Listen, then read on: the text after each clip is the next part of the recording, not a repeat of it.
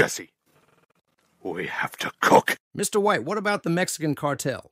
Ignore them, they won't lay a finger on us. Walter, you better have made at least 20 pounds of meth.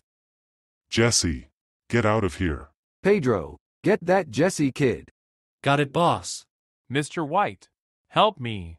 I'm sorry, Jesse. I have to leave in order to help you.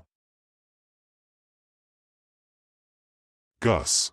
I need your help. Jesse has been captured by Tuco Salamanca. Please, I will do anything for your help. Walter, you will do anything? Fine, I will help you as long as you cook me five batches of meth by the end of this week. Okay, Gus, whatever. Just save Jesse.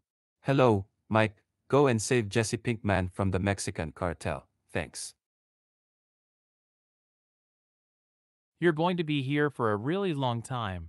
Actually, Jesse will not be here for very long, and neither will you in about five seconds. Goodbye, Pedro. Walter, Mike said the job has been done. Oh, thank God he's okay. I expect five batches of meth by the end of this week. Failure to do so will result in extreme actions being taken. Don't worry, the cartel won't do anything. I bet they are too scared. What the heck happened?